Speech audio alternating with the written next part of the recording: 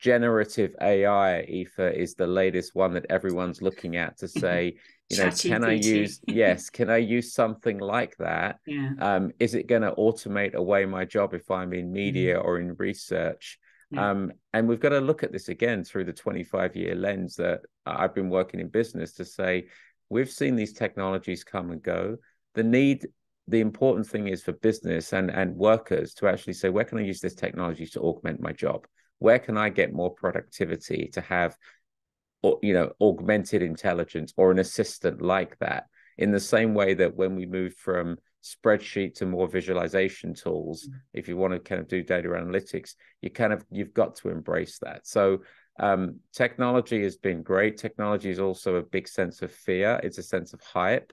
Um, but the, I think it's really important for businesses and and workers listening in to say, how am I staying relevant around different forms of technology? Um, and how can it not be fearful, but how can it actually augment what I do?